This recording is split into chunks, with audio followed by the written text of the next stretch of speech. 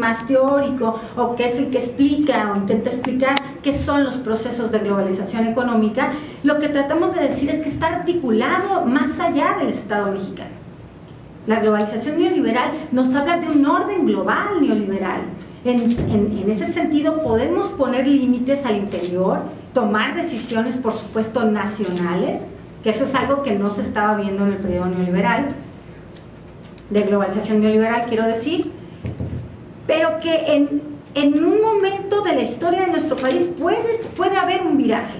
Y eso podemos estar eh, o no de acuerdo con cómo lo está haciendo Andrés Manuel López Obrador, el presidente actual eh, de nuestro país.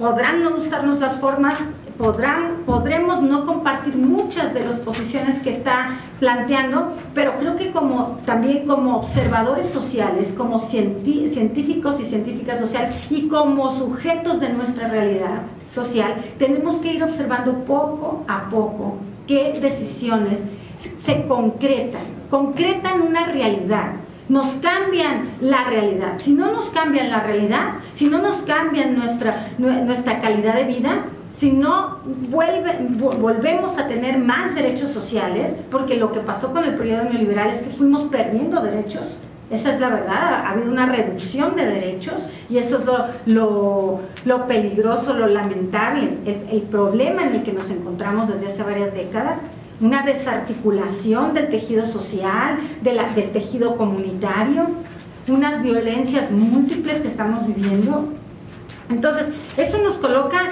en una, en una vulnerabilidad permanente como sociedades, como pueblos, como comunidades, como grupos sociales.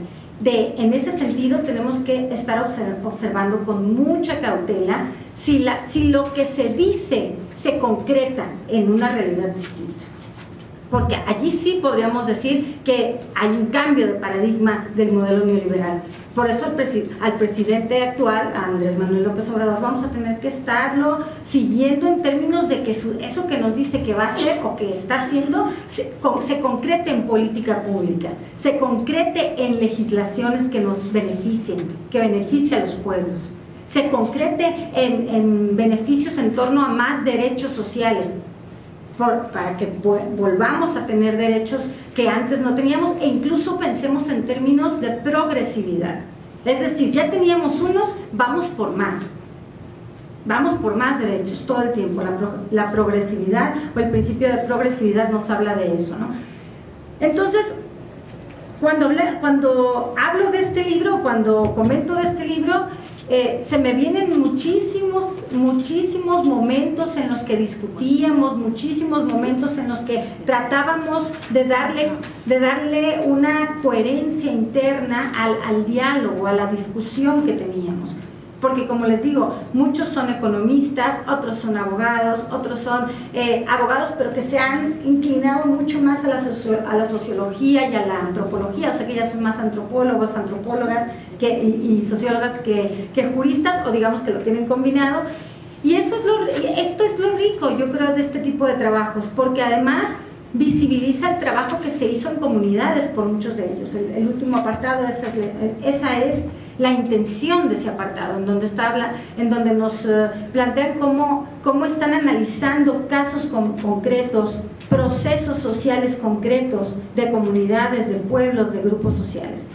Y otra cosa que hay que decir es que hay varios países o varios, varias eh, latitudes que están aquí eh, involucradas, que son Cataluña, el País Vasco, el Estado español, Liliana con las precisiones que me hace, que no sé si, no sé si implica que, que ya estamos reconociéndolo nos llamará la atención el presidente del gobierno español, que ya le dimos la, la autonomía a Cataluña. Bueno, pero desde el corazón sí.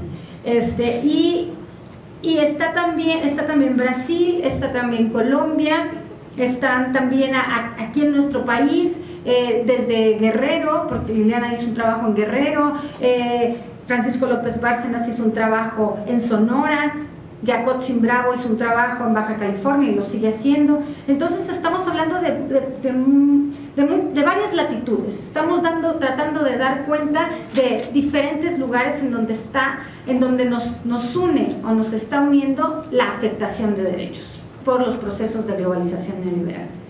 que se decrete el fin del neoliberalismo, yo creo que eso la historia lo va a ir diciendo. Los hechos concretos nos lo van a ir eh, constatando o no.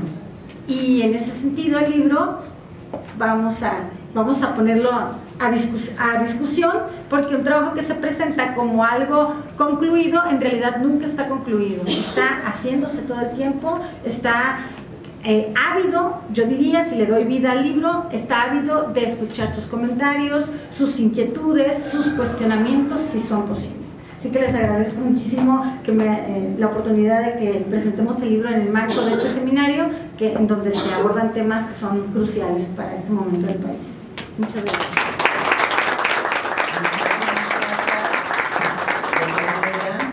Eh, bueno, tenemos aquí algunos minutitos, infelizmente no, no leímos el libro, pero si alguien tiene alguna pregunta, alguna curiosidad, algo que quiera comentar.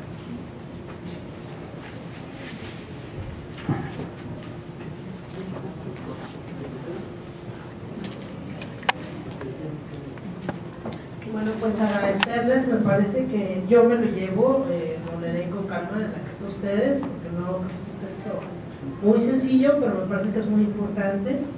Eh, creo que sí hay que poner como la atención en, el saqueo, en el extractivismo, que el neoliberalismo no es modernidad, no es para nada avanzar, eh, al contrario, ¿no? creo que ha sido una maquinaria perfectamente bien pensada, engrasada y demás, por los capitales que ya dijeron que no tienen patria, solo tienen intereses.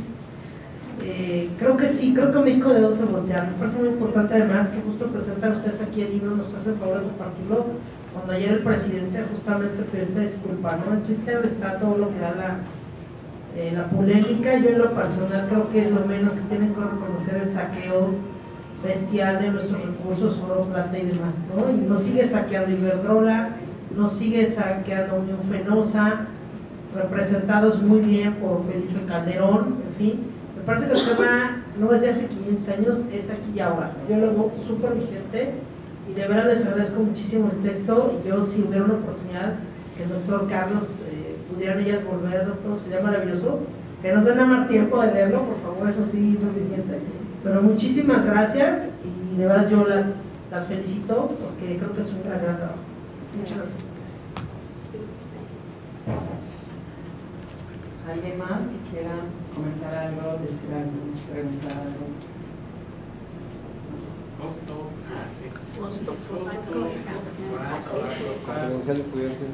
Cuesta para la presentación 170 pesos. O sea, porque está a precio de 340. Sí, me apena muchísimo. Yo siempre les pido a las editoriales y a la UNAM que nos bajen el costo pero bueno, yo creo que por ser voluminoso nos dijeron que así va a ser el, precio. Pero a 170 pesos está en este momento.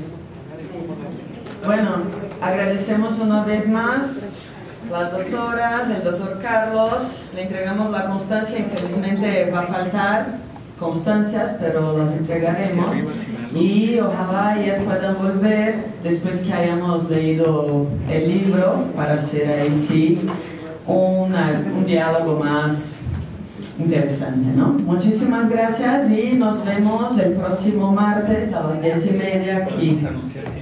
Perdón, vamos a anunciar porque a veces nos vamos y no eh, los preparamos a ustedes. Eh, acuérdense que tenemos dos sesiones eh, para la próxima semana. Nos van a acompañar el doctor Berumen y al mismo tiempo la doctora Parastú, quienes nos van a acompañar la próxima semana. Gracias. Muchas gracias.